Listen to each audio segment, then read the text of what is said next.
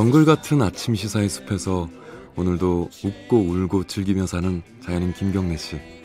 그의 하루 일과는 KBS 1라디오 김경래의 최강 시사를 진행하는 것으로 시작합니다. 어, 그런데 이게 무슨 소리죠? 아침부터 열심히 준비한 자연인 김경래의 밥상 같이 드셔보실래요? 후회 없는 아침 건강한 시사 김경래의 최강 시사 네, 김경래 최강 시사 듣고 계십니다. 아, 오늘 1부에서는 어, 모시기 어려운 분한분 모셨습니다. 중소기업 중소벤처기업부 박영선 장관 모셨습니다. 왜 최근에 그 뉴스에서 많이 보셨을 거예요. 그 대통령 순방 동남아 순방 과정에 태국에서 박영선 장관이 어, 우리 어, 중소기업들 제품을 홍보하고 적극적으로 이 모습을 보셨을 텐데 이게 좀 잘 되고 있는지 그리고 사실 최근에 이슈는 이슈 그 일본과 갈등 관계에서 지금 중소기업들 부품 산업이 어떤 식으로 지금 어 뭐랄까요 그 육성이 되고 있는지 이게 시간이 많이 걸리는 일인데 지금 어 어렵지 않은지 이런 부분들도 좀 걱정이 되고요.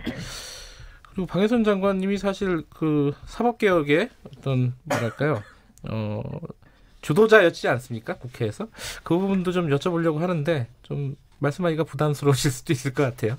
그거는 좀 지켜보도록 하죠. 자, 박영선 장관님 스튜디오에 나와 계십니다. 안녕하세요. 네, 안녕하세요. 네.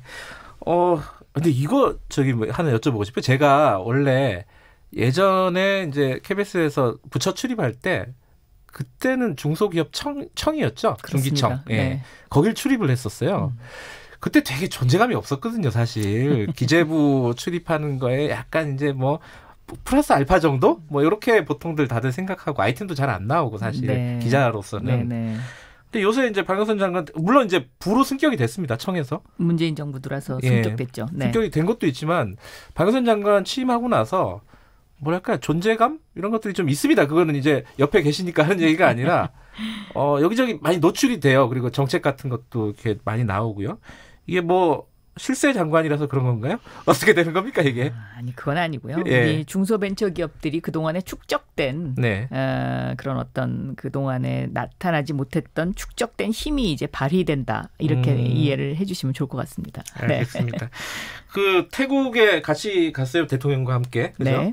거기서 보니까 막 TV에도 나오고 태국 TV에도 이게 태국 어떻게 홈, 된? 홈쇼핑, 홈쇼핑 TV인가요? 예. TV에 나왔고 우리나라 공영 홈쇼핑이 생중계를 했죠. 아, 사상 처음으로. 예. 네. 거기서 무슨 제품을 홍보를 하신 겁니까? 브랜드 K라고요. 브랜드 K 론칭 쇼를 했는데 음, 이 이제 브랜드 K는 K-팝, K-푸드, K-뷰티 이런 네. 것처럼 한류와 함께 이제 대한민국을 대표하는 어, 혁신 중소 벤처기업 브랜드입니다. 아, 네. 그러면 예컨대 어떤 제품들이에요? 시, 실제로 요 어, 실제로 생활에 그 사용되는 어, 어, 소비재 제품이 주로 많이 있는데요. 예. 어, 박지성 국가대표 선수 박지성 선수가 홍보 아, 대사입니다. 박지성 네. 선수도 이번에 화, 화제가 됐죠. 네. 예.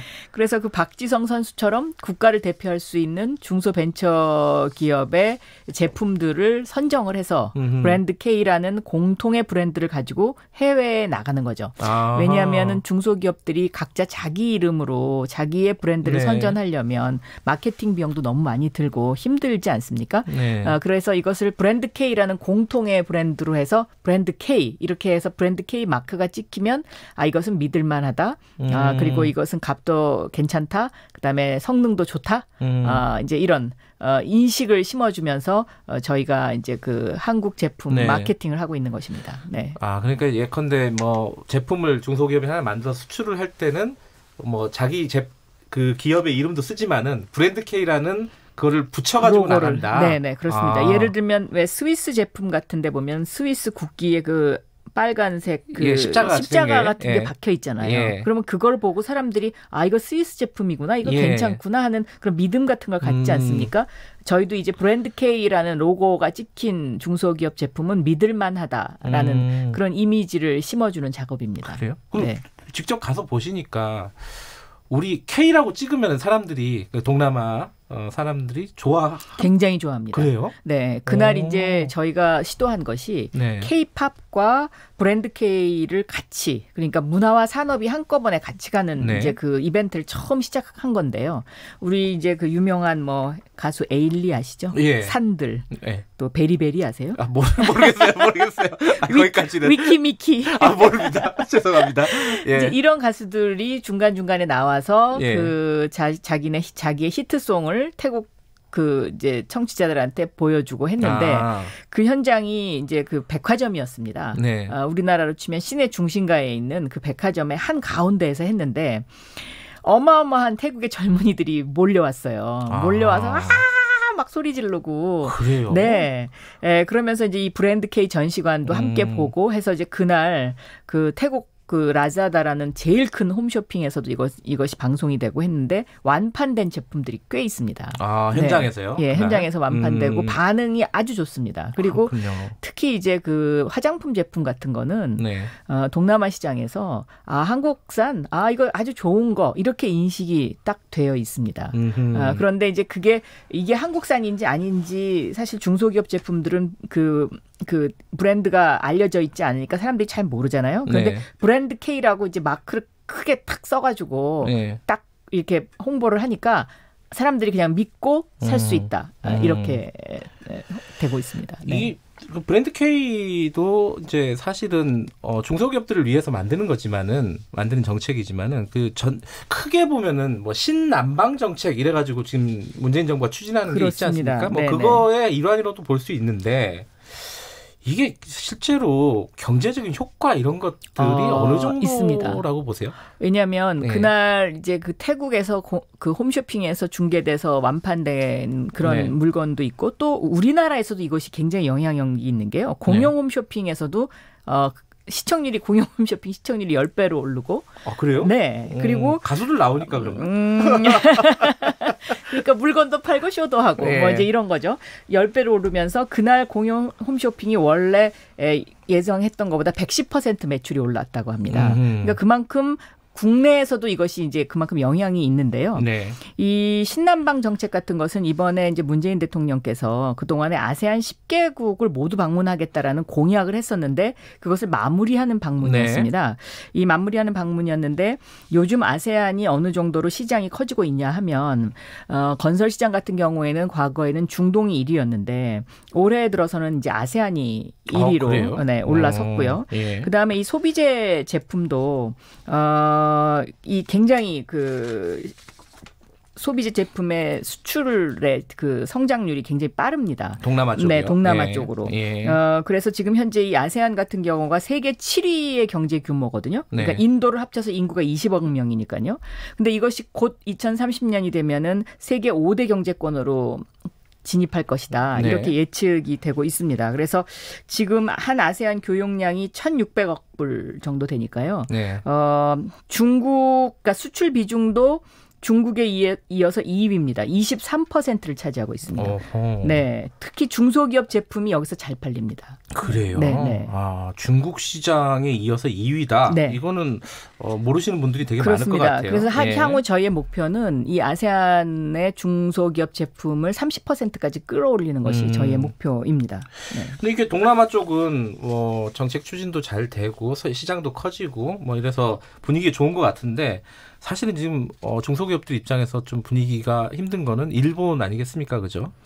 일본도요. 예. 어, 사실 중소기업은 크게 영향은 아직 없습니다. 아 그래요? 네, 지금 오. 특이한 것이 수출이 지금 많이 줄어들었지 않습니까? 그렇죠. 그런데 중소기업의 수출은 크게 줄지 않았습니다. 아 일본은 네. 대기업들이 주로 이제 뭐랄까 수출이나 이런 것들을 주도하고 있었군요. 음. 아, 그, 그러니까 이 수출이 줄어든다는 것이 이제 반도체의 그, 그 영향이 음, 크다는 워낙 의미죠. 비중이 워낙 크니까요. 비중이 크니까. 예. 그런데 오히려 중소기업은 그동안에 부품 수출에서 네. 소비재 수출로 비중이 옮겨가고 있는 그런 상황입니다. 예. 아, 그렇기 때문에 이것이 크게 지금 아직까지는 영향을 받고 있지 않고 예. 이런 어려운 환경 속에서 중소기업 제품이 선방을 하고 있다. 오히려? 이것은 네, 오. 이것은 오히려 굉장히 고무적인 음. 일이다라고 생각되고 근데 있습니다. 이제 일본과 관련돼서 하나 또 저- 저희들이 짚고 넘어가야 될 게 이제 일본 부품이 주요 그러니까 예를 들어 핵심 부품들 반도체나 이런 부분들이 수입이 지금 어려워지고 있지 않습니까? 그래서 이제 박영선 장관께서 여러 번 얘기를 하셨어요.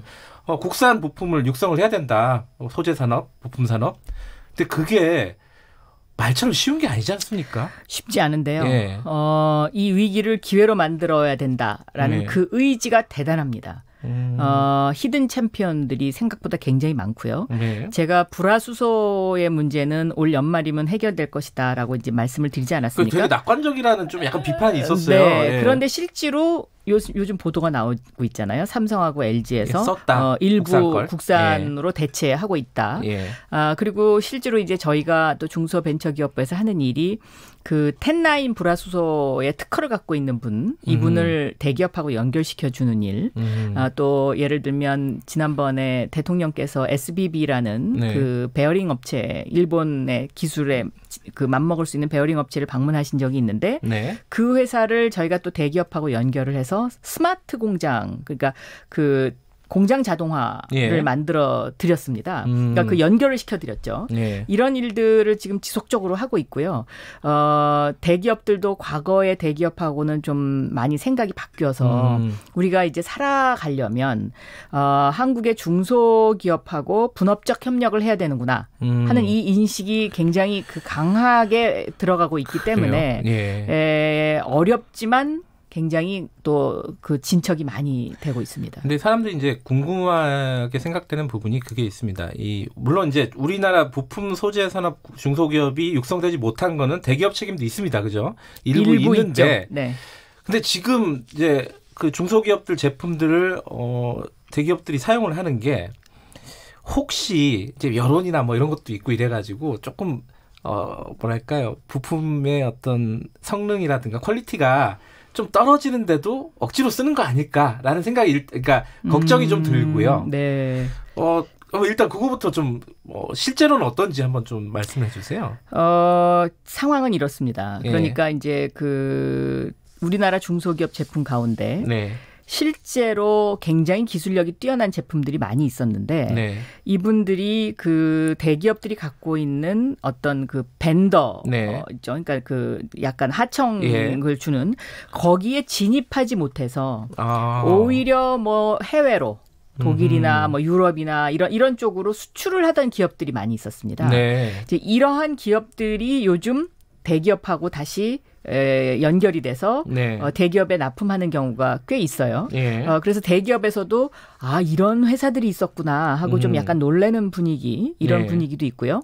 조금 전에 지적하셨던 것처럼 약간 품질이 떨어지는데 이거 예. 뭐또 쓰는 거 아닌가 하는 예. 이런 부분에 대한 걱정도 조금 있긴 한데 저는 품질이라는 것은요 예. 이것이 양산을 하고 대량 생산을 하면서 어 테스트를 거쳐서 축 축적된 힘이 결국은 품질을 끌어올리는 거거든요. 네. 어, 그렇기 때문에 다소 그런 부분이 있다 있다 하더라도 네. 지금 이 고비를 넘어야 한다라는 음. 그런 의지가 더 중요하다라고 생각하고 있습니다. 또 하나는 지금 뭐 정부에서 뭐 중소기업 벤처부 같이 정부에서 정책적으로 많이 지원을 하고 여론도 그렇고 일본하고 관계가 굉장히 악화돼 있고 이래서 지금 막상 쓰긴 하는데 또 일본과 관계가 개선되면은 뭐 국내 중소기업들 버리고 또 일본에 야, 여기가 품질이 좋으니까 여기 쓰자 이렇게 대기업들이 마음을 바꾸지 않을까라는 걱정 이건 또 어떻게 봐야 될까요? 중소기업에서는 그런 걱정을 하고는 계시는데요. 네. 제가 보기에는 그렇게 안 될 것 같습니다. 그래요? 왜냐하면 대기업들도 이번에 네. 어떤 그 생산 라인에 투입되는 제품을 바꾼다는 거는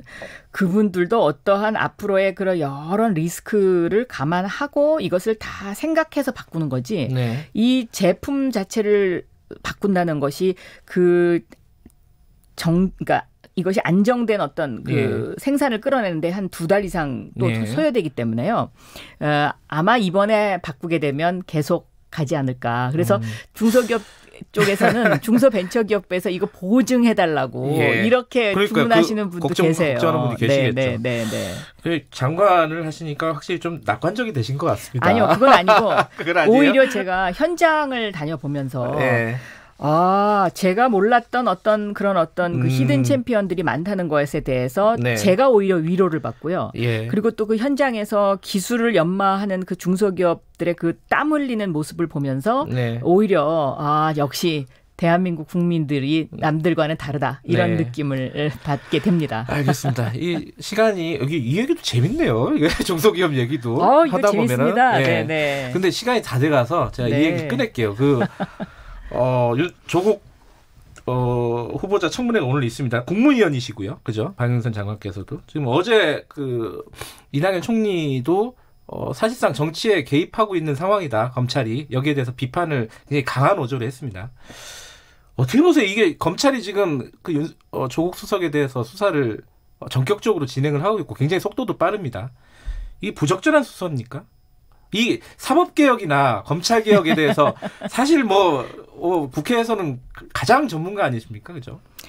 요즘 사실 제가 그 현장에서 조금 떨어져 있기 때문에 네. 그런 어떤 사실 여부와 관련된 네. 말씀은 좀 드리기가 예, 큰 틀에서 네, 좀 예, 의견을 듣고 싶어서요. 오늘이 예. 이제 인사청문회이고 네. 너무 먼 길을 돌아서 인사청문회를 하는 날이지 않습니까? 그렇죠. 아, 그런데 제가 이제 제 3자 입장에서 느끼는 것은 네. 인사청문회라는 것이 너무 변질됐다. 음. 이제는 완전히 뭐 너 죽고 나, 나 살자 뭐 이런 식의 그렇죠. 인사청문회를 하는 것이 과연 이것이 국민적 으로 어, 국가적으로 무슨 도움이 될까 하는 이제 그런 생각을 많이 하게 되고요. 네. 특히 이제 인사청문회의 핵심은 본인이 불법적인 어떤 무엇이 있었느냐 네. 그리고 그 불법적인 것을 팩트를 갖고 있느냐의 문제인데 네. 아, 과거에 과거에는 그 팩트가 없으면 사실 그것을 그 어떤 아이템으로 올리는 경우가 그렇게 흔치 않았습니다. 근데 네. 요즘은 변죽을 올리면서 그 이렇게 뭐 물을 흐리는 식의 어떤 그런 작전이랄까요? 음. 전략이랄까요? 어, 그러니까 한 방은 없고 계속해서 뭔가 이렇게 변죽만 울리는 음. 이런 식으로 계속되는 것은 좀 이것은 어, 국민들도 매우 그 여기에 대해서 어, 많이 아, 지쳐 있으시지 않나 이렇게 알겠습니다. 생각합니다. 그 말씀이 네. 이제 사실 오늘 청문회고 그래갖고 조심스러우실 수밖에 없는데 검찰의 지금 어 개혁에 대한 조직적인 저항인가 아니면은 문재인 정부가 어 윤석열 총장을 임명할 때 성의 없이 수사라고 했잖아요. 그래서 원칙적인 수사인가 이 부분에 대한 판단이 굉장히 갈리고 있습니다. 의견이 저는 네. 검찰 개혁은 필요하다고 생각하고요. 네, 특히 그 피의사실 공표를 통한 네. 어떤 검찰 수사의 방향성을 국민들한테 유도하는 것 네. 이것은 어, 반드시 개선돼야 된다. 저는 이렇게 음. 생각하고 있습니다. 애들로서 말씀해 주시는군요. 아 이게 오늘 제가 좀 말리는 것 같은데 말씀을 들어야 되는데 어 조 후보자는 어 이 통과할 것 같습니까? 그건 오늘 청문회를 지켜봐야 되겠죠. 네. 알겠습니다. 네. 이게 말씀을 아끼시는 걸로 하고 그리고 무슨 말씀 하시는지 아마 청취자분들은 알아들으셨을 것 같습니다. 자 오늘 먼 길 와주셔서 감사합니다. 감사합니다. 어, 중소벤처기업부 박영선 장관이었습니다. 예, 어, 오늘 조국 청문회 후보자 어, 조국 후보자 청문회는 어, 10시부터 시작하죠. KBS 일라디오 통해서 생중계로 들으실 수 있습니다. 운전하시는 분들 많이 들어주시기 바라겠습니다. 김경래 최강사 1부는 여기까지 하겠습니다. 잠시 후 뉴스 듣고 8시 5분에 돌아